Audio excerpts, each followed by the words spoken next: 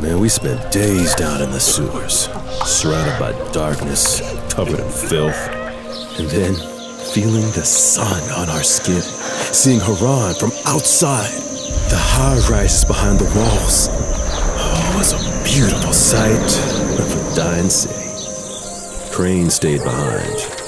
There is talk of a cure in the countryside. There are more people who need help.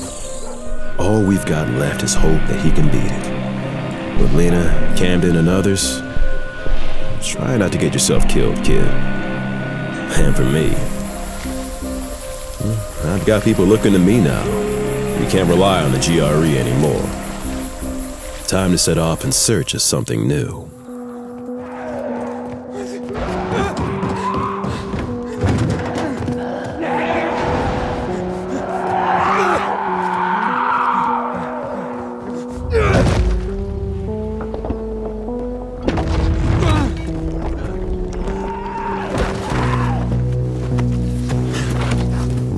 Thanks.